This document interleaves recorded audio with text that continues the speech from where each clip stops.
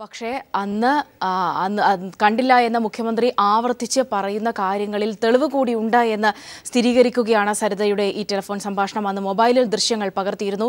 അതിൽ ജോപ്പൻ ഉൾപ്പെട്ടിട്ടുള്ളതിനാലാണ് ജോപ്പൻ നൽകിയിട്ടുള്ള മൊഴി വൈരുദ്ധ്യം കൂടി ഉണ്ടാകാതിരിക്കാനാണ് ദൃശ്യങ്ങൾ ഹാജരാക്കാതിരുന്നത് എന്ന് കൂടി സരിത പറയുന്നു. അതിലും സ്ഥിരീകരിക്കുന്നുണ്ട് ജോപ്പൻ വാക്കുകളാണ് നമ്മൾ കേണ്ടത്. ഇതിന്റെ വിവരങ്ങളുമായി ജീവൻ നമ്മോടൊപ്പം തത്സമയം ചേരുന്നുണ്ട്. ജീവൻ ഒരുപക്ഷെ ഈ കേസുമായി ബന്ധപ്പെട്ട ആവർത്തിച്ച് മുഖ്യമന്ത്രി പറയുന്നതാണ്. കമ്മീഷൻ മുൻപ് പോലും ആവർത്തിച്ചു പറഞ്ഞതാണ് അന്നത്തെ ആ കൂടിക്കാഴ്ച സംബന്ധിച്ച കാര്യങ്ങൾ.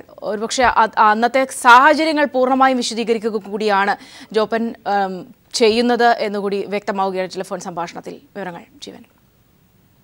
സൗമ്യ ഒരുപക്ഷെ ഏറെ ദുരൂഹതകൾ ഉണർത്തുകയും വളരെ കുലങ്കഷ്യമായ ചർച്ചകൾക്ക് വിധേയമാകുകയും ചെയ്തൊരു സംഭവമാണ് മുഖ്യമന്ത്രിയുടെ ഓഫീസിലെ ടെനി ജോപ്പനും മുഖ്യമന്ത്രിയും സരിത നായരും മലേലി ശ്രീധരൻ നായരും തമ്മിൽ നടത്തിയ കൂടിക്കാഴ്ചയുടെ വിശദാംശങ്ങൾ. ഈ വിശദാംശങ്ങൾക്ക് വേണ്ടിയാണ് ഒരുപക്ഷെ രാഷ്ട്രീയ കേരളം ഏറെ കാതോർത്തിരുന്നത്. കാരണം പതിനാല് ദിവസങ്ങൾ മാത്രമുള്ള തന്റെ ഓഫീസിലെ സി സി ടി വിയിൽ ഇതിന്റെ മെമ്മറി ഉണ്ടാവില്ല എന്ന് മുഖ്യമന്ത്രി പറയുകയും അതിനി ഒരിക്കലും തിരിച്ചെടുക്കാനാവില്ല എന്ന് പറയുകയും ചെയ്ത് ഇനി ഒരിക്കലും പൊങ്ങി വരില്ല എന്ന് കരുതപ്പെടുന്ന ഒരു സത്യം മുഖ്യമന്ത്രിയുടെ മുൻകാല വിശ്വസ്തന് യാദർച്ഛിക വശാലെങ്കിലും സരിതയോട് തുറന്നു പറയേണ്ടതായി വരുന്നു എന്നതാണ് ഇതിലെ ഏറെ വൈരുദ്ധ്യകരമായ ഒരു കാര്യം. ഒരുപക്ഷെ അത് ആ വീഡിയോ പുറത്തു വന്നാൽ രാഷ്ട്രീയ കേരളത്തിൽ ഉണ്ടാക്കാൻ പോകുന്ന ചലനങ്ങളും പ്രകമ്പനങ്ങളും ചെറുതായിരിക്കില്ല എന്ന് കൂടിയായിരിക്കും.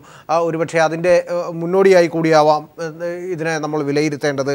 അതിലേറ്റവും പ്രധാനമായി ഇപ്പോൾ ജോപ്പൻ പറയുന്നത് മുഖ്യമന്ത്രിക്ക് വേണ്ടിയാണ് മുഖ്യമന്ത്രിയെ രക്ഷിക്കാൻ ശ്രമിച്ചതാണ് താൻ ചെയ്ത ഏറ്റവും വലിയ തെറ്റ്. സരിതയ്ക്ക് എന്തുകൊണ്ടിത് നേരത്തെ ഇങ്ങനൊരു ദൃശ്യം ഉണ്ടായിരുന്നെങ്കിൽ അത് തന്നോട് പറയാൻ പാടില്ലായിരുന്നു എന്നും ജോപ്പൻ സരിതയുടെ സംഭാഷണത്തിൽ ചോദിക്കുന്നുണ്ട്. തന്നെ എഡിറ്റ് ചെയ്ത് ഇതിൽ നിന്നും ഒഴിവാക്കാൻ കഴിയുമോ എന്നും ചോദിക്കുന്നു. സരിത അതിന് നൽകുന്ന മറുപടിയാണ് ഇതിലുള്ളത്.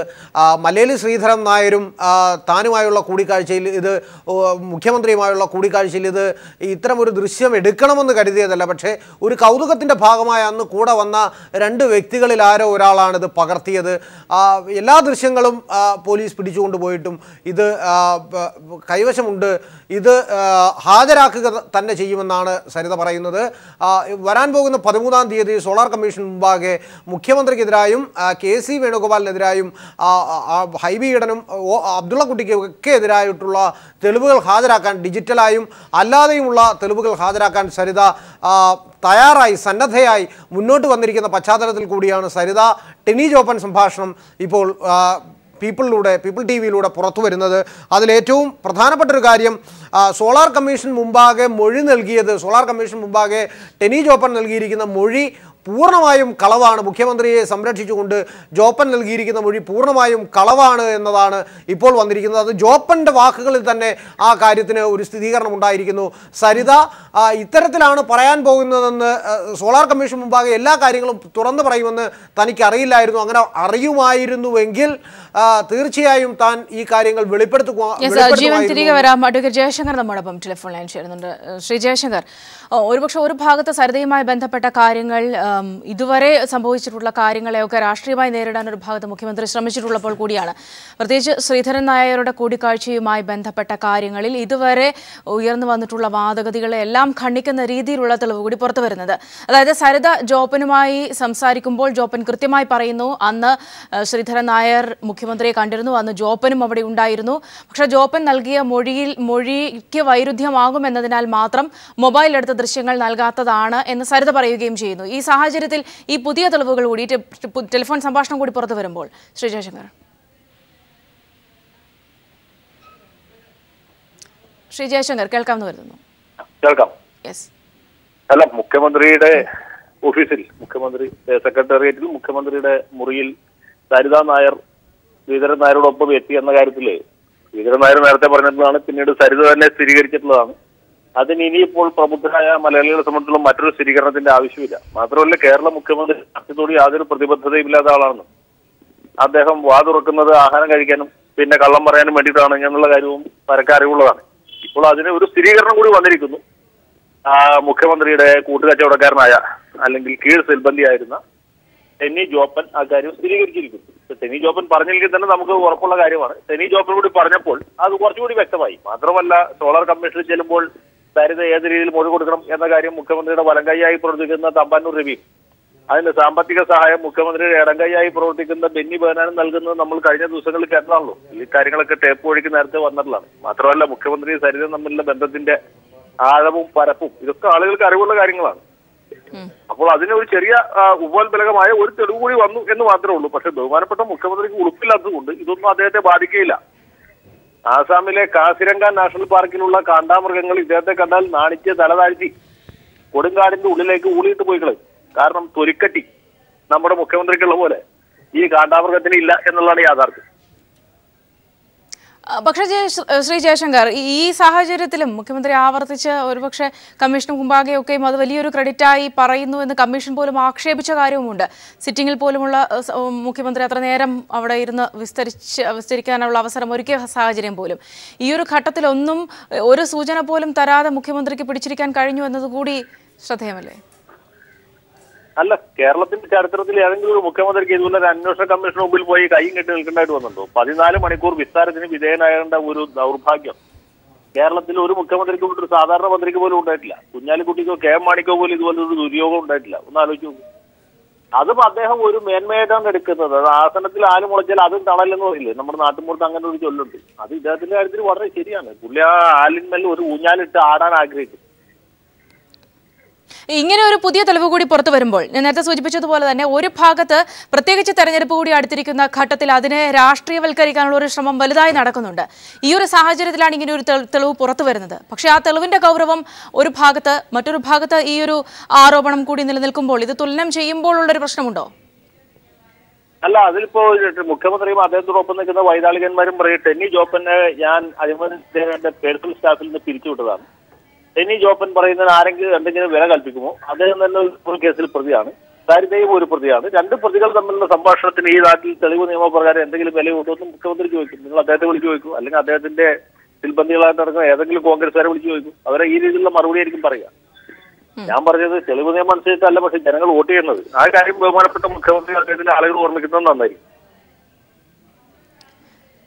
ആ, പക്ഷേ ഇതുവരെയുള്ള അത്തരത്തിലുള്ള ന്യായീകരണങ്ങൾക്ക് നമുക്കറിയാം സി സി ടി വി ദൃശ്യങ്ങളില്ല എന്ന് പറഞ്ഞ പറഞ്ഞൊരു ന്യായീകരണം ഉണ്ടായിരുന്നു. തെളിവുകൾ എവിടെയെന്നാണ് മുഖ്യമന്ത്രി ആവർത്തിച്ച് ചോദിക്കുന്നത്. ഒരു പക്ഷേ അത്തരം കാര്യങ്ങൾക്കൊക്കെ ഈ തെളിവുകളുടെ ഒരു പ്രാധാന്യം എന്താണ്? ഒരു നിയമവിദഗ്ധൻ എന്നൊരു ഒരു ഭാഗം കൂടി വെച്ച് നോക്കുമ്പോൾ അത് ഈ ഒരു വിഷയത്തിൽ എങ്ങനെയാണ്? തെളിവുകൾ കാണിച്ചു കൊടുത്താൽ അദ്ദേഹം ഈ തെളിവ് ഞാൻ തെളിവായിട്ട് അംഗീകരിച്ചിട്ടില്ല. ഉം. ഞാൻ എന്റെ മനസാക്ഷിക്കാണ് പ്രാധാന്യം കൊടുക്കുന്നത്. ഇപ്പൊ അദ്ദേഹത്തിന്റെ മനസാക്ഷി എന്ന് പറഞ്ഞാൽ ഏത് രീതിയിലാണ്? അത് വലിച്ച വലിയുന്ന മനസാക്ഷിയാണ്. അദ്ദേഹം കോട്ടയംകാരനാണ്. ഏഹ് അപ്പൊ റബ്ബർ പോലെ വലിച്ചാൽ വലിയുന്ന ഒരു മനസാക്ഷിയാണ് നമ്മുടെ മുഖ്യമന്ത്രിക്കുള്ളത്. അത്രയും ഇലാസ്റ്റിസിറ്റി ഇല്ലാത്തതുകൊണ്ടാണ് കരുണാകരൻ അടക്കമുള്ള ആളുകൾ രാജിവെച്ച് പോയത്. കുഞ്ഞാലിക്കുട്ടി രാജിവെച്ചത് അതുകൊണ്ടാണ്. കെ മാണി പോലും രാജിവെക്കേണ്ടത് മുഖ്യമന്ത്രിയുടെ അത്രയും വലിച്ചാൽ വലിയുന്നതല്ല അവരുടെ മനസാക്ഷി എന്നുള്ളതുകൊണ്ടാണ്.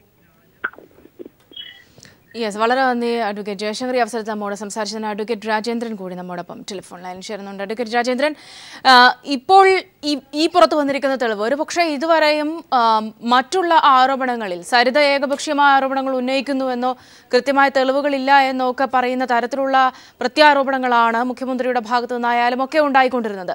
പക്ഷേ ഇപ്പോൾ വന്നിട്ടുള്ള ഈ ഒരു തെളിവ് പ്രത്യേകിച്ച് ജോപ്പനും സരിതയും തമ്മിലുള്ള ടെലിഫോൺ സംഭാഷണം. അന്ന് ആ ജോപ്പൻ അവിടെ ഉണ്ടായിരുന്നു. അവിടെ ഉണ്ടായിരുന്ന ആൾ തന്നെയാണ് പറയുന്നത്. ആ അത് സ്ഥിരീകരിക്കുന്നത്. ഒപ്പം തന്നെ ദൃശ്യങ്ങൾ ഫോണിൽ പകർത്തിയ ദൃശ്യങ്ങൾ ഉണ്ട് എന്ന സ്ഥിരീകരണം കൂടി ടെലിഫോൺ സംഭാഷണത്തിൽ വരുമ്പോൾ. ശ്രീ രാജേന്ദ്രൻ കൃത്യമായി രണ്ടായിരത്തി പന്ത്രണ്ട് ജൂലൈ മാസം ഒമ്പതാം തീയതി രാത്രി എട്ട് മണിക്ക് സെക്രട്ടേറിയറ്റിലെ മുഖ്യമന്ത്രിയുടെ മുറിയിൽ വെച്ചിട്ട് സരിതയും ശ്രീധരൻ നായരും മുഖ്യമന്ത്രിയുമായി സംസാരിച്ചിരുന്നു. മുഖ്യമന്ത്രിക്ക് സരിത ദുരിതാശ്വാസ നിധിയിലേക്കുള്ള രണ്ട് ലക്ഷം രൂപയുടെ ചെക്ക് നൽകിയിരുന്നു. കൂട്ടത്തിൽ ക്രഷ് ഓണേഴ്സ് അസോസിയേഷൻ മെമ്മോറാണ്ടവും ശ്രീധരൻ നായർ നൽകിയിരുന്നു. ഇത് സംബന്ധിച്ച് സോളാർ കമ്മീഷന് മുമ്പാകെ ഹലോ ഹലോ? കേൾക്കുന്നുണ്ട് കേൾക്കുന്നുള്ളൂ പറഞ്ഞോളൂ. സംശയാതീതമായ തെളിവുകൾ വന്നിട്ടുണ്ട്. കാരണം ജൂലൈ ഒമ്പതാം തീയതിയിലെ മുഖ്യമന്ത്രിയുമായിട്ടുള്ള ശ്രീധരൻ നായരുടെ അപ്പോയിന്റ്മെന്റ് ഫിക്സ് ചെയ്ത് ശ്രീധരൻ നായരെ വിവരം അറിയിച്ചത് സരിതയുടെ ഇമെയിലാണ് ആ ഇമെയിൽ കൃത്യമായി കമ്മീഷൻ മുമ്പാകെ വന്നിട്ടുണ്ട്. മാത്രമല്ല കേരള നിയമസഭയിൽ മുഖ്യമന്ത്രി ഉമ്മൻചാണ്ടി തന്നെ അദ്ദേഹം ശ്രീധരൻ നായരെ ജൂലൈ മാസം ഒമ്പതാം തീയതി രാത്രി എട്ട് മണിക്ക് കണ്ടു എന്ന് സമ്മതിച്ചിട്ടുണ്ട്. എന്നാൽ ഈ സന്ദർശനം സംബന്ധിച്ച് നിയമസഭയിൽ പറഞ്ഞതിന് ഘടകവിരുദ്ധമായിട്ടാണ് അദ്ദേഹം കമ്മീഷനിൽ പറഞ്ഞത്. നിയമസഭയിൽ അദ്ദേഹം പറഞ്ഞത് ക്രഷ് ഓണേഴ്സ് അസോസിയേഷന്റെ ഒരു മെമ്മോറാണ്ടം റവന്യൂ മന്ത്രി അടൂർ പ്രകാശ് നൽകുന്നതിന് വേണ്ടി അവർ ടീമായി എത്തിയെന്നും അപ്പോൾ ഈ പ്രശ്നം മുഖ്യമന്ത്രിയെ കൂടെ കണ്ട് പറയണമെന്നും അങ്ങനെ അടൂർ പ്രകാശിന് നൽകിയ മെമ്മോറണ്ടത്തിന്റെ കോപ്പിയാണ് തനിക്ക് നൽകിയത് എന്നുമാണ് നിയമസഭയിൽ മുഖ്യമന്ത്രി പറഞ്ഞത്. എന്നാൽ അതിന് നേരെ ഘടകവിരുദ്ധമായി കമ്മീഷൻ മുമ്പാകെ മുഖ്യമന്ത്രി പറഞ്ഞത് ക്രഷ് ഓണേഴ്സ് അസോസിയേഷന്റെ നിവേദനം നൽകാനായി ഒരു അപ്പോയിന്റ്മെന്റ് നേടി- നേടിയിരുന്നെന്നും ശ്രീധരൻ നായർ തനിച്ചു വന്നാണ് മെമ്മോറാണ്ടം നൽകിയതെന്നും അതിനുശേഷമാണ് അസോസിയേഷൻ ഭാരവാഹ്യം നൽകിയതെന്നുമാണ് അദ്ദേഹം പറഞ്ഞത്. അതോടൊപ്പം തന്നെ അന്നേ ദിവസം ജൂലൈ മാസം ഒമ്പതാം തീയതി ടീം സോളാർ കമ്പനിയുടെ രണ്ട് ലക്ഷം രൂപയുടെ മുഖ്യമന്ത്രിയുടെ ദുരിതാശ്വാസ നിധിയിലേക്കുള്ള ചെക്ക് കൈപ്പറ്റി ഉമ്മൻചാണ്ടിയുടെ കൈപ്പടയിൽ അദ്ദേഹത്തിന്റെ സ്വന്തം ലെറ്റർ ഹെഡിൽ കൊടുത്ത കത്ത് കമ്മീഷൻ മാർക്ക് ചെയ്തിട്ടുണ്ട്. മാത്രമല്ല ഇവിടെയാണ് ഏറ്റവും വലിയ അപകടം. ഡി ഈ കേസ് അന്വേഷിച്ച ഡിവൈഎസ്പി പ്രസന്നൻ നായർ. അദ്ദേഹത്തോട് ലോയേഴ്സ് യൂണിയനാണ് ചോദിച്ചത് ആ പർട്ടിക്കുലർ ഡേറ്റിൽ മുഖ്യമന്ത്രി ശ്രീധരൻ നായരെ കണ്ടിട്ടുണ്ടോ? മുഖ്യമന്ത്രി നിയമസഭയിൽ സമ്മതിക്കുന്നു ഞങ്ങൾ കണ്ടിട്ടുണ്ട്. മുഖ്യമന്ത്രി കമ്മീഷനിൽ പറയുന്നു ഞങ്ങൾ കണ്ടിട്ടുണ്ട്. എന്നാൽ അന്വേഷണ ഉദ്യോഗസ്ഥനായ ഡിവൈഎസ്പി പ്രസന്നൻ നായർ കമ്മീഷൻ മുമ്പാകെ പറഞ്ഞത് ആ പർട്ടിക്കുലർ ഡേറ്റിൽ മുഖ്യമന്ത്രി ശ്രീധരൻ നായരെ കണ്ടതായി അദ്ദേഹത്തിന് ബോധ്യപ്പെട്ടില്ല എന്നുള്ളതാണ്. ഇതിൽ നിന്നും വളരെ വ്യക്തമല്ലേ? എല്ലാ തെളിവുകളും വന്നു കഴിഞ്ഞു. ഇപ്പോൾ ജോപ്പന്റെ അഡ്മിഷൻ വന്നു കഴിഞ്ഞു. ഇനിയിപ്പോൾ ഡിജിറ്റൽ എവിഡൻസ് വരും. ഒരു വസ്തുത കമ്മീഷൻ മുമ്പാകെ നിയമസഭയിലുമായി ഉമ്മൻചാണ്ടി നൂറുകണക്കിന് നുണകളാണ് പറഞ്ഞിട്ടുള്ളത്. നുണ പരിശോധന തള്ളി നുണ പറയാനുള്ള തന്റെ ഇടം കാണിച്ചെന്ന അത്രമാത്രം നാണക്കേട് കാണിച്ച ഒരു മുഖ്യമന്ത്രി ഉമ്മൻചാണ്ടി അല്ലാതെ മറ്റാരും കാണില്ല. ഒരുപക്ഷെ അത്തരത്തിൽ താങ്കൾ പറഞ്ഞതുപോലെ തന്നെ ആവർത്തിച്ച പലയിടത്തും ഇക്കാര്യങ്ങൾ വ്യക്തമാക്കിയിട്ടുണ്ട്. തെളിവുകളില്ല എന്നതടക്കമുള്ള കാര്യങ്ങൾ പ്രത്യേകിച്ച് സി സി ടി വി ദൃശ്യങ്ങളുടെ ഒക്കെ കാര്യങ്ങൾ നമുക്കറിയാവുന്നതാണ്. പക്ഷേ അത്തരം അന്നത്തെ ആ നടന്നിരിക്കുന്ന സാഹചര്യങ്ങളെ വളരെ കൃത്യമായി തന്നെ വിശദീകരിക്കുന്നുണ്ട് ജോപ്പൻ ഈ ഒരു ടെലിഫോൺ സംഭാഷണത്തിൽ. ആരൊക്കെ ഒപ്പമുണ്ടായിരുന്നു അന്ന് ദൃശ്യങ്ങൾ എടുത്തതടക്കമുള്ള കാര്യങ്ങൾ. ഈ ഇത്തരം സാഹചര്യങ്ങൾ കൂടി വരുമ്പോൾ അതിന്റെ തെളിവിന്റെ ഒക്കെ ഒരു പ്രാധാന്യം എങ്ങനെയാണ്? ശ്രീ രാജേന്ദ്രൻ. Hello hello. കേൾക്കുന്നില്ല വളരെ ഡീറ്റെയിൽഡ് ആയി തന്നെയാണ് ജോപ്പനും സരിതയും സംസാരിക്കുന്നത്. അന്ന് ശ്രീധരൻ നായരുമൊത്ത് കണ്ട കാര്യങ്ങളെക്കുറിച്ച്. കേവലം കാണുക എന്നത് മാത്രമല്ല ജോപ്പനൊപ്പം ഉണ്ടായിരുന്നു. അതിന്റെ സാഹചര്യങ്ങളെല്ലാം തന്നെ വിശദീകരിക്കുന്നുണ്ട്. ഈ ഈ ഒരു സാഹചര്യത്തിൽ ഇത്രയേറെ വിശദമായുള്ള ഒരു തെളിവിന്റെ കൂടി പ്രാധാന്യം?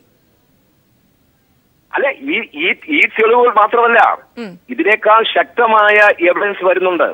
ഞാൻ മനസ്സിലാക്കുന്നിടത്തോളം പന്ത്രണ്ടാം തീയതി അതിനേക്കാൾ ശക്തമായ എവിഡൻസ് ഹാജരാക്കാൻ പോവുകയാണ്. മാത്രമല്ല ജോപ്പനുമായി ബന്ധപ്പെട്ടുകൊണ്ടും മുഖ്യമന്ത്രിയുടെ സ്റ്റാഫുമായി ബന്ധപ്പെട്ടുകൊണ്ടും മൂവായിരത്തി നാനൂറ് ടെലിഫോൺ കാളുകളാണ് ആ കാൾ സമയത്ത് വന്നിരിക്കുന്നത്. മൂവായിരത്തി നാനൂറ് ഓർത്തുകൊള്ളുക അതിനുശേഷവും സരിത ജയിലിൽ നിന്ന് പുറത്തിറങ്ങിയതിനു ശേഷമുള്ള ടെലിഫോൺ കാളുകൾ അപ്പൊ ഇത് ഒരു വസ്തുത ഇത് മുഖ്യമന്ത്രി ഉമ്മൻചാണ്ടി അധികാരത്തിൽ നിന്ന് പോയാലും തെളിവുകൾ പലയിടത്ത് കിടപ്പുണ്ട്. അതെല്ലാം പുറത്തു വരും. അതാണ് ഈ കേസിന്റെ മറ്റൊരു സവിശേഷത. ഈ തെളിവുകൾ പലരുടെയും കൈകളിൽ ഇരിപ്പുണ്ട് ഈ തെളിവുകളുടെ പകർപ്പുകൾ പലരുടെയും കൈവശമുണ്ട്. അത് എപ്പോ വേണമെങ്കിലും ഇങ്ങനെ ഇടയ്ക്കിടയ്ക്ക് വെടിക്കെട്ട് പൊട്ടുന്നതിൽ എപ്പോ വേണമെങ്കിലും പുറത്തു വന്നുകൊണ്ടിരിക്കാം. അതിന്റെ ഒരു ഭാഗമാണ് ഇപ്പോൾ ടെന്നി ജോപ്പനുമായിട്ടുള്ള ടെലിഫോൺ സംഭാഷണത്തിന്റെ നിങ്ങൾ പറയുന്ന വിവരങ്ങൾ പുറത്തു വന്നിരിക്കുന്നത്. ഒരുപക്ഷെ ശ്രീ രാജേന്ദ്രൻ നമുക്കറിയാം ആദ്യഘട്ടം മുതൽക്കേ തന്നെ ജോപ്പനൊക്കെ ബലിയാടായ ആളാണ്. അതുകൂടി അദ്ദേഹം ഈ ടെലിഫോൺ സംഭാഷണത്തിൽ പറയുന്നുണ്ട്. മറ്റുള്ളവർക്ക് രക്ഷപ്പെടാൻ വേണ്ടി ഒരുപക്ഷെ ഉമ്മൻചാണ്ടി അടക്കമുള്ളവർക്ക് രക്ഷപ്പെടാൻ വേണ്ടി മൊഴിവരെ മാറ്റി പറയേണ്ട അവസ്ഥയിലേക്ക് ജോപ്പൻ ഉൾപ്പെടെയുള്ളവർ എത്തിയിട്ടുണ്ട്. ആ സാഹചര്യം യെസ് യെസ് താങ്കളിലേക്ക് തന്നെ തിരികെ എത്താം. അവിടെ അവിടെ ഒരു കൃത്യമായ ഒരു കാര്യം പറയാനുള്ളത്. കമ്മീഷൻ മുമ്പാകെ ടെന്നി ജോപ്പന്റെ അഭിഭാഷക ചോദിച്ച ഒരു ചോദ്യമുണ്ട്. ഇപ്പോൾ ഇവിടെ വന്നിരിക്കുന്ന വിവരപ്രകാരം ടെന്നി ജോപ്പൻ ചെയ്ത അതേ കുറ്റം തന്നെയാണ് മുഖ്യമന്ത്രി സി ഉമ്മൻചാണ്ടി ചെയ്തത്. അങ്ങനെയാണെങ്കിൽ ടെന്നി ജോപ്പൻ മാത്രമായി എങ്ങനെ പ്രതിയാക്കപ്പെട്ടു എന്നത് എന്നത് പ്രസക്തമാണ്. അത് ടെന്നി ജോപ്പന്റെ അഭിഭാഷക ചോദിച്ചതാണ്. അപ്പൊ കൃത്യമായി ടെന്നി ജോപ്പനെ കുരുതി കൊടുക്കുകയായിരുന്നു. കമ്മീഷൻ അന്വേഷിക്കുന്ന വിഷയം എന്താ? ടെന്നി ജോപ്പൻ പ്രതിയാക്കപ്പെട്ടു. ടെന്നി ജോപ്പൻ ജയിലാക്കപ്പെട്ടു പക്ഷേ സലീം രാജ് പ്രതിയാക്കപ്പെട്ടില്ല. അതോടൊപ്പം തന്നെ ജിക്കുമോൻ പ്രതിയാക്കപ്പെട്ടില്ല. അതോടൊപ്പം തന്നെ തോമസ് കുരുള പ്രതിയാക്കപ്പെട്ടില്ല. എന്തുകൊണ്ട് ഇവരാരും പ്രതിയാക്കപ്പെട്ടില്ല? അവിടെയാണ് തിരുവഞ്ചൂർ രാധാകൃഷ്ണന്റെ സഹായം വന്നെത്തിക്കുന്നത് തിരുവഞ്ചൂർ രാധാകൃഷ്ണന്റെ സഹായത്തോടുകൂടി എല്ലാ അന്വേഷണത്തെയും അട്ടിമറിക്കുകയായിരുന്നു. അവിടെയാണ് കഴിഞ്ഞ ആറ് ദിവസമായി ഡിവൈഎസ്പി ഹരികൃഷ്ണൻ കമ്മീഷന് മുമ്പാകെ നിന്ന് വേർക്കുകയാണ്. എന്തുകൊണ്ട് സരിതയെ അറസ്റ്റ് ചെയ്തപ്പോൾ അവരുടെ വീട്ടിൽ കയറി പരിശോധന നടത്തിയില്ല? എന്തുകൊണ്ട് അവരുടെ വീട്ടിൽ നിന്ന് മറ്റ് ഉപ മറ്റ് എവിഡൻസുകൾ നിങ്ങൾ കളക്ട് ചെയ്തില്ല? എന്തുകൊണ്ട് സരിതയുടെ അമ്മയുടെ കൈവശം ഉണ്ടായിരുന്ന രേഖകളാണെങ്കിലും അവർ പറയുന്നു എടുത്തുകൊണ്ടുപോയി എന്തുകൊണ്ട് കമ്മീഷൻ ഹാജരാക്കിയില്ല? എന്തുകൊണ്ട് അറസ്റ്റിനെ സംബന്ധിച്ച് വ്യത്യസ്തത പറയുന്നു? മുഖ്യമന്ത്രി നിയമ വീട്ടിൽ വെച്ച് അറസ്റ്റ് ചെയ്തു എന്ന് ഹരികൃഷ്ണൻ കമ്മീഷൻ മുമ്പാകെ പറയുന്നു റോഡിൽ വെച്ച് അറസ്റ്റ് ചെയ്തു എന്ന് തലശ്ശേരിയിലെ എസ് ഐ പറയുന്നു രണ്ടാം തീയതി രാത്രി പതിനൊന്നര മണിക്ക് അറസ്റ്റ് ചെയ്തു എന്ന് എന്നാൽ ഡിവൈഎസ്പി ഹരീഷൻ പറയുന്നു മൂന്നാം തീയതി വെളുപ്പിനെ നാലു മണിക്ക് അറസ്റ്റ് ചെയ്തു എന്ന് കമ്മീഷൻ ഇതെല്ലാം വളരെ വിശദമായി പറയുക കണ്ടെത്തുകയാണ്. കമ്മീഷൻ മുമ്പാകെ ഉമ്മൻചാണ്ടിക്കെതിരെയുള്ള മുഴുവൻ തെളിവുകളും വന്നു. ഇനി ഇപ്പോൾ സപ്പോർട്ടീവ് ആയിട്ടുള്ള കൊറോബറേറ്റീവ് ആയിട്ടുള്ള എവിഡൻസുകളാണ് വരുന്നത്. വളരെ ഞെട്ടിപ്പിക്കുന്ന തെളിവുകൾ വരും ദിവസങ്ങളിൽ പുറത്തു വരുമെന്നാണ് കമ്മീഷൻ മുമ്പാകെ വന്നിരിക്കുന്ന വീടുകൾ ഇന്ന് മനസ്സിലാകുന്നത്. യെസ് വളരെ നന്ദി അഡ്വക്കേറ്റ് ബി രാജേന്ദ്രൻ ഈ അവസരത്തിൽ നമ്മോട് സംസാരിച്ചതിന്.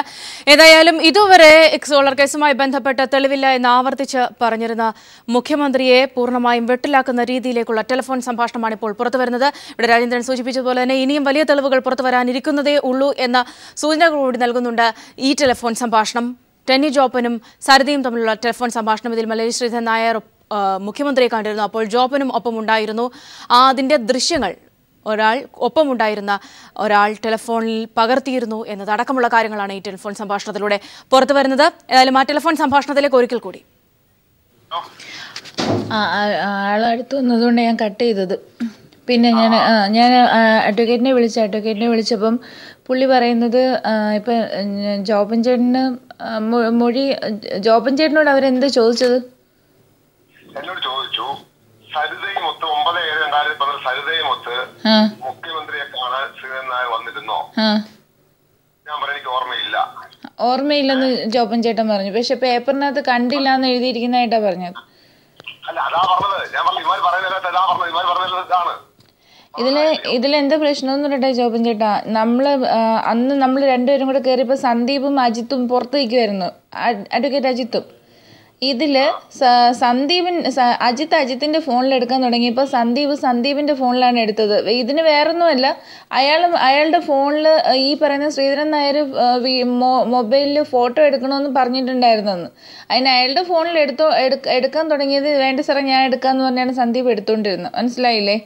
അപ്പം ഈ ഈ അതിനകത്ത് നമ്മൾ അവിടുന്ന് കയറി വന്നിട്ട് ജോബൻ ചെണ്ണി സംസാരിക്കുന്നിടത്ത് നിൽക്കുന്നില്ല ഈ ശെൽവരാജ് എം എൽ എ അവിടുന്ന് നടന്നു പോയി കഴിഞ്ഞപ്പോൾ പിന്നെ Selvaraj Selvaraj M L A Selvaraj M L A പിന്നെ സെൽവരാജ് എം എൽ എ പറഞ്ഞിട്ടുണ്ടല്ലോ താങ്കൾ അവിടെ ഉണ്ടായിരുന്നു എന്ന്. ഞാൻ പറഞ്ഞു എനിക്ക് അതും എനിക്ക് ഓർമ്മയില്ല എന്ന് പറഞ്ഞു. അപ്പൊ സംഭവം പറഞ്ഞു ഞാൻ ഇത്രേ പറഞ്ഞു അത് അതുമല്ല എന്നോടൊന്ന് ഇന്നലെ ഞാൻ വിളിച്ചിരുന്നെങ്കിൽ ഞാൻ എന്തെങ്കിലും ഇതുമായപ്പോ ഞാൻ ഇല്ല. അത് അത് അത് കുഴപ്പമില്ല ജോബൻ ചേട്ടാ. ഒരു ഒരു എനിക്കിതിപ്പോൾ എന്റെ എന്റെ ഒരു പ്രശ്നം പ്രശ്നമെന്ന് ഞാൻ പറയട്ടെ. ഞാനിത് പുറത്ത് വിട്ട. ഇപ്പോൾ ജോബൻ ചേട്ടൻ ഇന്നലെ പറഞ്ഞ മൊഴി ജോബൻ ചേട്ടൻ കൊടുത്ത മൊഴി വ്യാജമാണെന്ന് വരും. അതാണ് ഒരു പ്രശ്നം.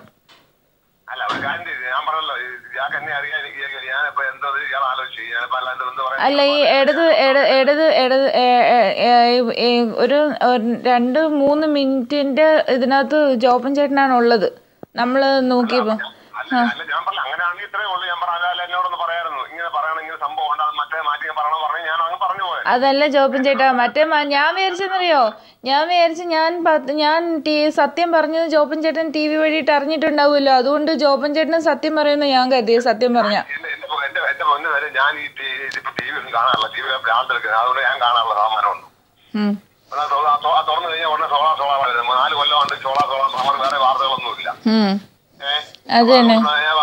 അതുകൊണ്ട് ഞാനത് നോക്കാറില്ല. അതാണ് വിഷയം അതിനകത്ത് ഇതിനകത്ത് ഒരു ഒരു സംഭവം എന്ന് പറഞ്ഞാൽ ഞാൻ ഉള്ളതല്ല ഞാൻ സത്യം വിളിച്ചു പറഞ്ഞു. അന്നത്തെ കാര്യങ്ങൾ മൊത്തം അന്ന് കണ്ടതും. ഞാൻ അന്നത്തെ എന്ന് വെച്ചാൽ വേറെ കാര്യം കൊണ്ടല്ല. ജോബൻ ചേട്ടൻ അറിയാലോ? ജോബൻ ചേ ജോബൻ ചേട്ടൻ അതിനകത്തെ പൈസയുടെ ഇടപാട് അറിയത്തില്ല. അത് ഞാൻ കറക്റ്റായിട്ട് ഞാൻ ഒരു ഒരു കള്ളം പോലും ഞാൻ മൊഴി പറഞ്ഞു കൊടുത്തില്ല ആ വിഷയത്തിനകത്ത്. അല്ല അങ്ങനെ പറയുമ്പോ മൊഴി ടാമ്പർ ചെയ്യാൻ ശ്രമിച്ചു എന്ന് പറയില്ലേ? അതുകൊണ്ടാണ് ഞാൻ വിളിക്കാതെ അതിനാവശ്യം. അതെ അത് സമ്മതിച്ചു ചോപ്പൻ ചേട്ടാ. ഇപ്പം ഇയാൾ രക്ഷപ്പെടും ഇയാൾ കള്ളവും ചെയ്തിട്ട് അയാൾ രക്ഷപ്പെടും. അത് അതെ അത് അത് അത് വിഷ അത് വിഷയമാണ് ഇപ്പോൾ ജോബൻ ചേട്ടൻ അതല്ല ഞാൻ പറഞ്ഞത് ഇപ്പം ഞാൻ പെട്ടെന്ന് വെച്ചാൽ ഞാനിത് ഇത് കൊടുത്ത ജോബൻ ചേട്ടന് പ്രശ്നമാവുമല്ലോ എന്നുള്ള ടെൻഷനായിരുന്നു ജോബൻ ചേട്ടൻ സത്യം പറഞ്ഞിരുന്നെങ്കിൽ ഇത് പുറത്തു വന്ന കുഴപ്പമില്ല അത് എന്നെ എന്നോട് ലക്ഷ്മി എന്നോട് പറയാൻ ലക്ഷ്മി വിളിച്ചിട്ട് പറയണ്ട എങ്ങനെയാണ് ഇങ്ങനെ ചേട്ടാ ഇങ്ങനെ നമ്മൾ നമ്മൾ മറ്റേ ആ ഇത് മാറ്റിയത് പറഞ്ഞാ പോരെ അത് ഞാൻ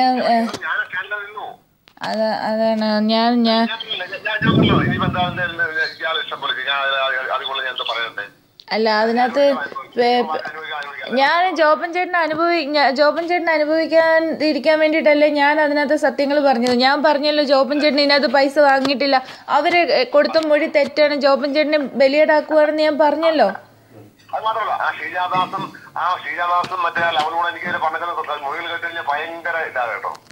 അത് അവർ അവർക്ക് വേറെ ഗ്രഡ്ജാണ് ജോബൻ ചേട്ടനോട്. അത് ജോബൻ ചേട്ടന് നേരത്തെ അറിയാലോ ഷീ ഷീജാദാസ് സത്യത്തിൽ ഗവൺമെന്റിനെതിരെയാണെന്ന് പറഞ്ഞത്. ഏഹ് അവർ അവർ പറഞ്ഞ മൊഴി ശരിക്കും പറഞ്ഞ ഈ പറഞ്ഞ ജോബൻ ചേട്ടനോടുള്ള മാനസികമായ ഗ്രഡ്ജ് വെച്ചിട്ടാണ് യഥാർത്ഥത്തിൽ അന്ന് അങ്ങനെ ചെയ്തത്. തന്നെയല്ല അവർ വിചാരിച്ചു അങ്ങനെ പറഞ്ഞാൽ ജോബൻ ചേട്ടനെ ആ കേസിനകത്ത് അങ്ങ് ശിക്ഷിക്കുമെന്ന് ശരിക്കും ജോബൻ ചേട്ടനെ മാത്രം പെടുത്താൻ വേണ്ടിയിട്ടല്ലേ ആ കേസിനകത്ത് പറഞ്ഞു? അങ്ങനെയാണെങ്കിൽ സലിം രാജും ജിക്കു ഒക്കെ എവിടെ പോയി? അല്ല അതേ പറഞ്ഞ കാര്യം എന്നെ എന്നെ എന്നെ എന്നെ ഇത് ചെയ്തുകൊണ്ട് ഹേമേന്ദ്രനും ഈ സെൻകുമാറും എല്ലാവരും ചേർന്ന് കളി ഇവരെ കൂടി ചെയ്ത കളിയാണ്. കാരണം ഞങ്ങൾ ഓഫീസിൽ ഒന്ന് രണ്ട് കക്ഷികളുണ്ട് എനിക്കറിയാം. അത് കളിയാണ്. അതിപ്പോ ഇപ്പൊ പറഞ്ഞിട്ട് കാര്യമുണ്ടോ? ജോ ജോബൻ ചേട്ടാ മൂന്ന് വർഷം മുമ്പ് നടന്നതൊക്കെ എന്തൊക്കെയാണെന്ന് നമ്മൾ സത്യം പറഞ്ഞ ഇരുട്ടി വെളുക്കുന്നത് പോലെയല്ലേ നമ്മളിട്ട് കൊല്ലാക്കൊല്ല ചെയ്ത് കുറച്ച് പേരുടെ തലയിൽ മാത്രം എല്ലാം വെച്ച് കെട്ടി ബാക്കിയുള്ളവരൊക്കെ രക്ഷപ്പെടുകയല്ലേ ചെയ്തത്? അങ്ങനെ ആ നിങ്ങൾ നിങ്ങളും ജിത്തു സലും ചെയ്ത എല്ലാം ഒരു തെറ്റല്ലേ നിങ്ങൾ മാത്രം ഞാൻ എന്ത് എനിക്ക് കൂടാൻ നടന്നതാണ് അത് മാത്രമേ ഞാൻ ഞാൻ അല്ല പറയുന്നതിനകത്ത്. അത് എല്ലാവരും ചെയ്തു ഒരു ഒറ്റ അങ്ങനെയാണെങ്കിൽ മുഖ്യമന്ത്രി ഉൾപ്പെടെ ഉൾപ്പെടെയുള്ളവർ എത്രയോ പ്രാവശ്യം ഫോൺ വിളിച്ചിരിക്കുന്നു. ഫോൺ വിളിക്കുന്നത് ഒരു ക്രിമിനൽ കുറ്റമാണെങ്കിൽ ഈ പറഞ്ഞ ഒരു ഉദ്യോഗസ്ഥയാണ്. അവർ എന്നോടല്ല പറയുന്നത്. അവർ പറയാം അവരുടെ മുഖ്യമന്ത്രിയോടല്ല അവരുടെ ഉദ്യോഗസ്ഥരോട് പറയുന്നത്. എന്നോട് അതെ. അതെ ഞാൻ പറഞ്ഞു. അതെ. അതിൽ അത് വേറൊരു വിഷയം ജോപ്പൻ ചേട്ടന് ഒരു കാര്യം മനസ്സിലാക്കണം. ഷീജദാസ് അതിനുശേഷം നമ്മൾ എന്ത് സുഹൃത്തുക്കളായിരുന്നു ഷീജയുമായിട്ടൊക്കെ ഏ? ഈ ഷീ ഈ ഷീജ ഷീജയും അജിത്തും ഒക്കെ മാറി മാറി ഓരോരോ കാര്യങ്ങൾ പാറശാലയിൽ നിന്ന് അജിത്ത് ട്രാൻസ്ഫർ വാങ്ങിച്ചു കൊടുത്തതും അതും ഇതും ഒക്കെ ഈ പറഞ്ഞ ഷീജ പറഞ്ഞുകൊണ്ടിരുന്നത് ഏഹ് ജോബൻ ചേട്ടന് അവിടെ അകത്ത് തിരക്കായിരിക്കുമ്പോൾ ഷീജയല്ലേ സംസാരിച്ചുകൊണ്ടിരുന്നത് അപ്പം എന്നിട്ട് അന്ന് ഷീജയ്ക്ക് ഇതൊന്നും കുഴപ്പമില്ലായിരുന്നു. അത് കഴിഞ്ഞ് പെട്ടെന്ന് ഷീജാദാസിന് കുഴപ്പം വന്നു. ഈ കേസ് വന്നപ്പോൾ ജോബിനെ പിടിച്ച് അകത്തിടാൻ വേണ്ടി.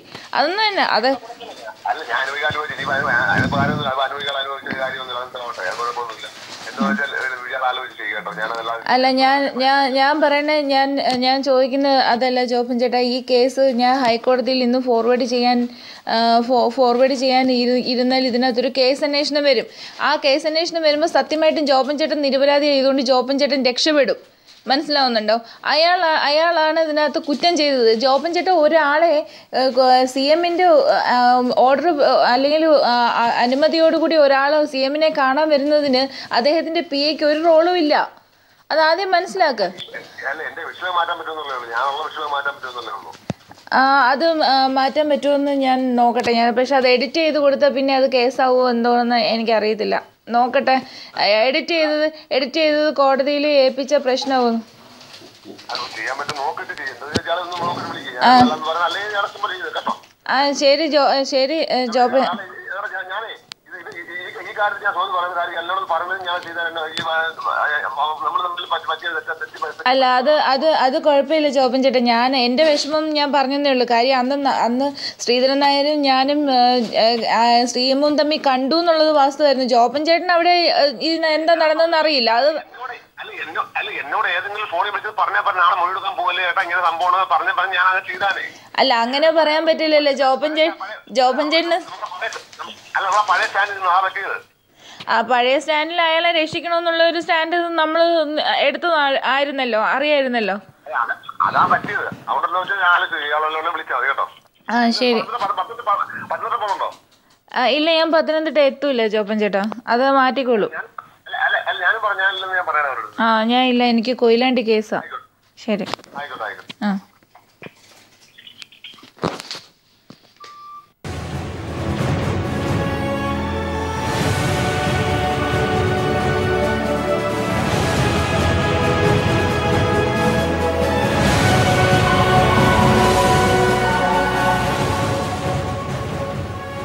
ശ്രീധരൻ നായരുമായി മുഖ്യമന്ത്രി കൂടിക്കാഴ്ച നടത്തി. അന്ന് ജോപ്പൻ അടക്കമുള്ളവർ അവിടെ ഉണ്ടായിരുന്നു.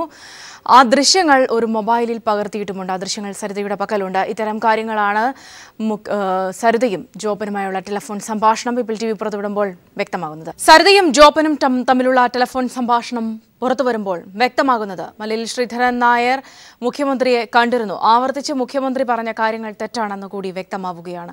ഒപ്പം തന്നെ അന്നത്തെ ദൃശ്യങ്ങളടക്കമുള്ള തെളിവുകൾ ഉണ്ട് എന്ന് കൂടി വ്യക്തമാവുകയാണ്. ഇപ്പോൾ ശ്രീ ഭാസ്കരേന്ദ്ര ബാബു പ്രമുഖ രാഷ്ട്രീയ നിരീക്ഷകൻ നമ്മോടൊപ്പം ടെലിഫോൺ ലൈൻ ചേരുന്നുണ്ട്. ശ്രീ ഭാസ്കരേന്ദ്ര ബാബു ഒരുപക്ഷെ നേരത്തെ സൂചിപ്പിച്ചതുപോലെ തന്നെ പല ആവർത്തി അങ്ങനെ ഒരു കൂടിക്കാഴ്ച ഉണ്ടായിട്ടില്ല എന്നോ അല്ലെങ്കിൽ അങ്ങനെ ഒരു സാഹചര്യം ഇല്ല എന്ന് വരുത്തി തീർക്കാനുള്ള ഒരു വലിയ ന്യായീകരണമൊക്കെ ഒരു ഭാഗത്ത് ഉണ്ടായിക്കൊണ്ടിരിക്കുമ്പോഴാണ് ഇങ്ങനെ ഒരു തെളിവ് കൂടി പുറത്തു വരുന്നത്. ഇനിയും പല തെളിവുകളും പുറത്തു വരാനുണ്ട് എന്ന സൂചന കൂടി ടെലിഫോൺ സംഭാഷണം നൽകുന്നുണ്ട്. അന്നത്തെ കൂടിക്കാഴ്ചയുടെ ദൃശ്യങ്ങൾ അടക്കം ഉണ്ട് എന്നുകൂടി പറഞ്ഞു വെക്കുന്നുണ്ട് സരിത.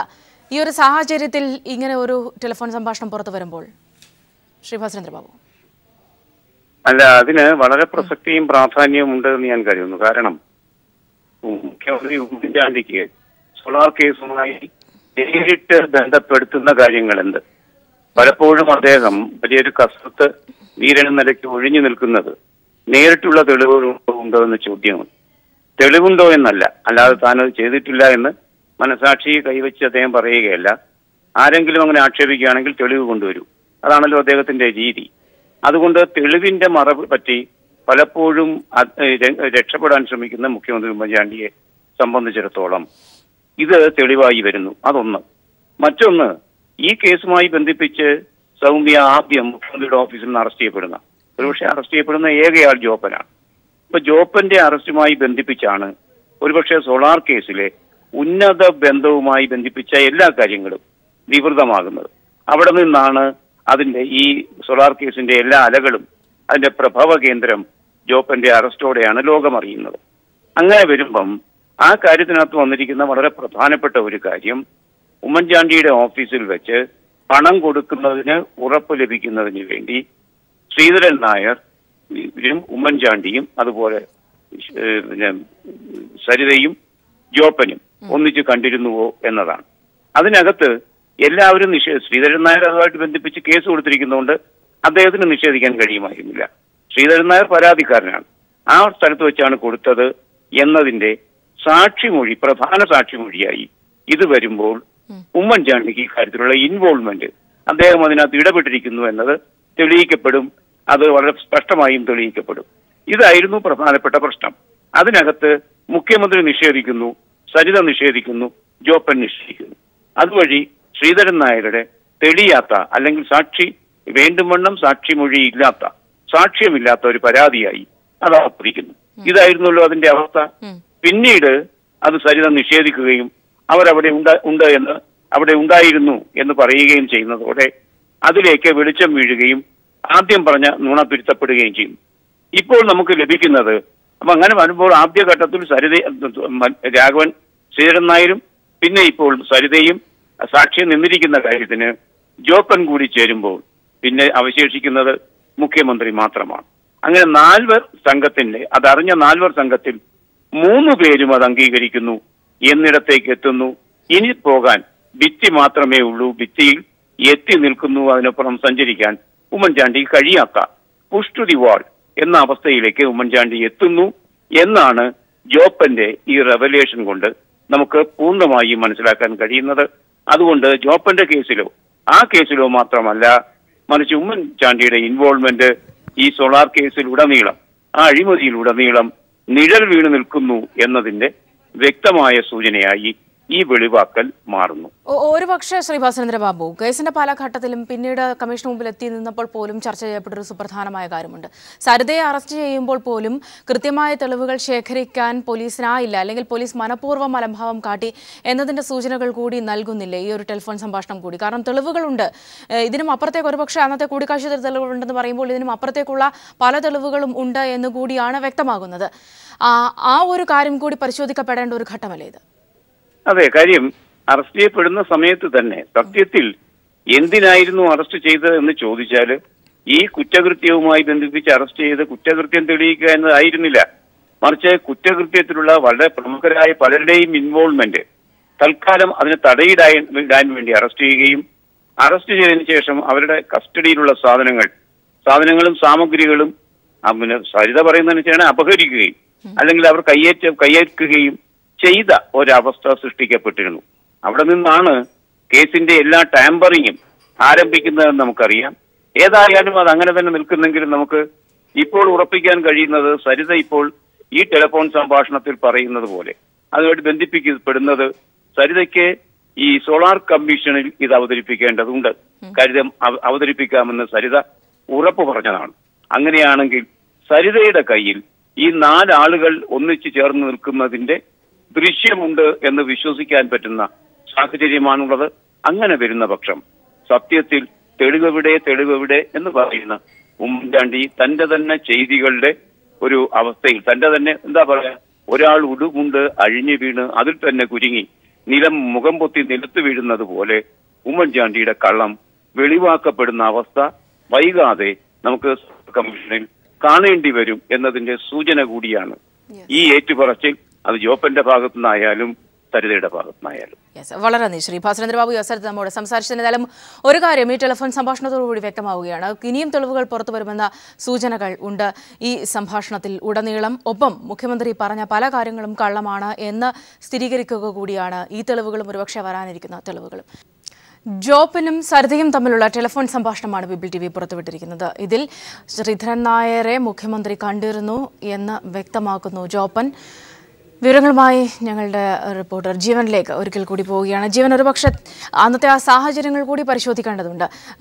മുഖ്യമന്ത്രിയുടെ ഓഫീസ് ഉപയോഗിക്കപ്പെട്ടു. അത് പല സാഹചര്യങ്ങളിലും സലിം രാജിന്റെ കോണ്ടാക്റ്റുകളായാലും ജോബിന് അടക്കമുള്ളവരുടെ ടെലിഫോൺ സംഭാഷണങ്ങളുമായി ബന്ധപ്പെട്ട കാര്യങ്ങളൊക്കെ ആയാലും ആ ഒരു പശ്ചാത്തലത്തിൽ പറയുമ്പോഴും മുഖ്യമന്ത്രി നേരിട്ട് ബന്ധപ്പെട്ടിരുന്നു എന്നതിന്റെ തെളിവുകൾ ആരോപണ അപ്പുറത്തേക്ക് തെളിവുകൾ കൂടിയാകും ഒരുപക്ഷെ ജോബന്റെ ഈ ഒരു ടെലിഫോൺ സംഭാഷണം ആ ഒരു സാഹചര്യത്തിൽ കൂടി പരിശോധിച്ചാൽ. ആ, സൗമ്യ ഇവർ ഇരുവരും തമ്മിൽ സംസാരിക്കുന്ന സംഭാഷണം നമ്മൾ രണ്ട് തവണ ഇതിനോടകം കേട്ടുകഴിഞ്ഞു. അവർ ആവർത്തിച്ച് വ്യക്തമാക്കുന്നൊരു കാര്യം ശ്രീധരൻ നായർ മുഖ്യമന്ത്രിയുമായി കൂടിക്കാഴ്ച നടത്തിയിരുന്നു സരിതയുടെ സാന്നിധ്യത്തിൽ എന്ന് ആവർത്തിച്ച് വെളിവാക്കുന്ന വാക്കുകളാണ് സരിതയും ജോപ്പനും പറഞ്ഞത്. ഇരുവരും സംഭവ സ്ഥലത്ത് സമയത്ത് അവിടെ ഉണ്ടായിരുന്നവരാണ്. ജോപ്പനോട് ഈ കാര്യം പറയുമ്പോൾ തന്നെ ഈ ദൃശ്യത്തിൽ നിന്ന് ഒഴിവാക്കാൻ കഴിയുമോ എന്ന് ജോപ്പൻ സരിതയോട് തിരിച്ച് ഒരു അഭ്യർത്ഥന പോലെ സംസാരിക്കുകയും ചെയ്യുന്നുണ്ട്. എന്തായാലും ഒരു കാര്യം വസ്തുതയാണ്. ഒരുപക്ഷെ മുപ്പത്തി നാല് കേസുകൾ രജിസ്റ്റർ ചെയ്യപ്പെട്ടിട്ടുണ്ട് സോളാർ തട്ടിപ്പ് കേസുമായി ബന്ധപ്പെട്ട് അതിൽ ഏറ്റവും പ്രബലവും ഒരുപക്ഷെ മുഖ്യമന്ത്രിയുടെ നേരെ പോലും ആരോപണം ചെന്ന ഒരു കേസ് ശ്രീധരൻ നായർ കൊടുത്ത കേസാണ്. മല്ലേരി ശ്രീധരൻ നായരുടെ മൊഴിപ്രകാരം അവസാന ഗഡുവായ ഒരു കോടി രൂപ കൊടുക്കുന്നതിന് മുമ്പ് തനിക്ക് മുഖ്യമന്ത്രിയിൽ നിന്നും നേരിട്ട് ഉറപ്പ് വേണമെന്നതായിരുന്നു ശ്രീധരൻ നായർ പറഞ്ഞിരുന്നത്. ശ്രീധരൻ നായർക്ക് ആ ഉറപ്പ് നൽകുന്നതിന് വേണ്ടി ആദ്യം സരിത മുഖ്യമന്ത്രിക്ക് മുഖ്യമന്ത്രിയുമായുള്ള അപ്പോയിൻമെന്റ് കിട്ടിയതായി ഒരു ഒരു പേഴ്സണൽ അപ്പോയിൻമെന്റ് കിട്ടിയതായി സരിത ശ്രീധരൻ നായർക്ക് ഒരു ഇമെയിൽ അയക്കുന്നു. ഇമെയിൽ അയക്കുന്നതിന്റെ പശ്ചാത്തലത്തിൽ അന്നേ ദിവസം ശ്രീധരൻ നായർ മുഖ്യമന്ത്രിയെ കാണുന്നതിനായി അവിടെ എത്തുകയും ഇവർ നാല് പേരും കൂടെ ചേർന്ന് മുഖ്യമന്ത്രിയുമായി കാണുന്നതിന്റെ ദൃശ്യങ്ങൾ കൈവശമുണ്ട് എന്ന് സരിത പറയുകയുമാണ് ചെയ്യുന്നത്. ഈ കാര്യം മുഖ്യമന്ത്രിയുടെ പഴയകാല വിശ്വസ്തനും പി എയുമായ ടെനി ജോപ്പന്റെ സ്ഥിരീകരണത്തോടുകൂടി ഈ കാര്യം എന്തായാലും നമുക്ക് സ്ഥിരീകരിച്ച് പറയാനാവും. സോളാർ കമ്മീഷനിൽ താൻ പറഞ്ഞതത്രയും കളവാണെന്ന് കൂടി ജോപ്പൻ പറഞ്ഞു വെക്കുമ്പോൾ തീർച്ചയായും ആരോപണങ്ങളുടെ കുന്തമുന കുറെ കൂടെ രൂക്ഷമായി മുഖ്യമന്ത്രിയിലേക്ക് എത്തുകയാണെന്ന് ഈ ഘട്ടത്തിൽ പറയേണ്ടതായി വരും സൗമ്യ. പ്രത്യേകിച്ച് വരാൻ പോകുന്ന മെയ് മാസം പതിമൂന്നാം തീയതി ഡിജിറ്റൽ തെളിവുകൾ സരിത സോളാർ കമ്മീഷൻ മുമ്പാകെ ഹാജരാക്കുന്നതിന് സമ്മതം അറിയിച്ചുകൊണ്ട് സോളാർ കമ്മീ ജസ്റ്റിസ് ശിവരാജനോട് അഭ്യർത്ഥിച്ചിരിക്കുന്ന പശ്ചാത്തലത്തിൽ തീർച്ചയായും ഈ ഫോൺ നമ്മളിപ്പോൾ പുറത്തുവിട്ടിരിക്കുന്ന ഫോൺ സംഭാഷണത്തിന് വലിയ രാഷ്ട്രീയ മാനങ്ങളാണുള്ളത്. സൗമ്യ. ജീവനാണ് വിവരങ്ങൾ നൽകിയത്. സരിതയും ജോപ്പനും തമ്മിലുള്ള ടെലിഫോൺ സംഭാഷണമാണ് പുറത്തു വന്നിരിക്കുന്നത്. ഏഹ്, കേസുമായി ബന്ധപ്പെട്ട് നിലവിൽ നിലനിൽക്കുന്ന തർക്കങ്ങളിൽ വലിയൊരു വ്യക്തമായ തെളിവ് കൂടിയായിരിക്കും ഈ ടെലിഫോൺ സംഭാഷണം വരാനിരിക്കുന്ന മറ്റ് ഡിജിറ്റൽ തെളിവുകളും. Música